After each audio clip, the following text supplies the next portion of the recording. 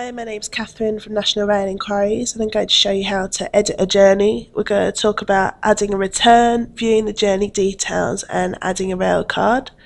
So if we go on the home page, I'm going to do a journey plan from Manchester to London and we'll set that to go next week.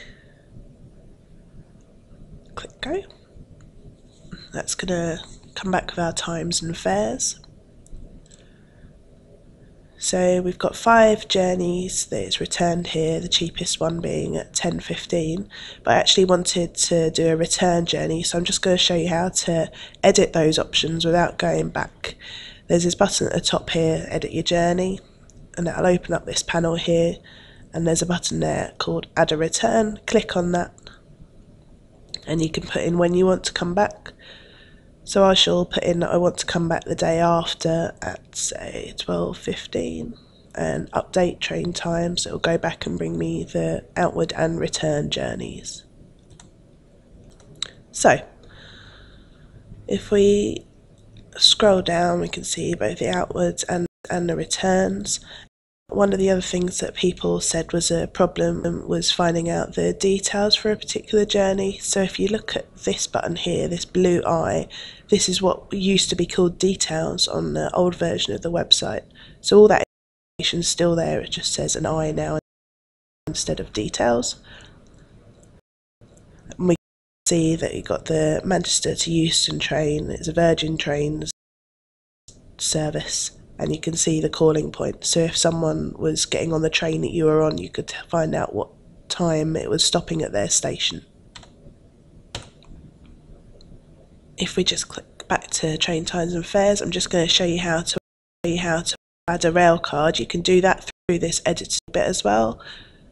Click on editor journey and there's this um, bit of the accordion here called passenger details. If you click on that here you can specify the number of adults and children that are going and I've got this add rail cards button.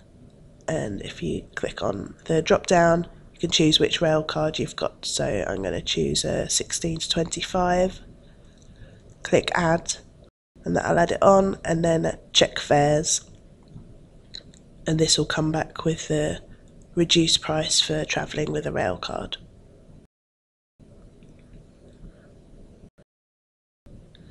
As you can see in our little basket down here, it's telling you that the savings have been applied and we know that we've got a rail card on there. Click buy and that'll open up the retailer window. I think in this case it's going to be Virgin Trains. And that'll have all our details on it. So we've got our adults with our rail cards and the same same ticket price. If we go back to the home page, you can see we've got the same button to add a return journey on the home page and so you can put your return straight in. And this passenger icon here contains all of the information about number of adults and children and the rail cards exactly the same as you've got within the editor journey button on the journey planner page just the same, you'd click on 16 to 25 or senior rail card or whatever you've got, click on ads, and that'll add in the amount of rail cards.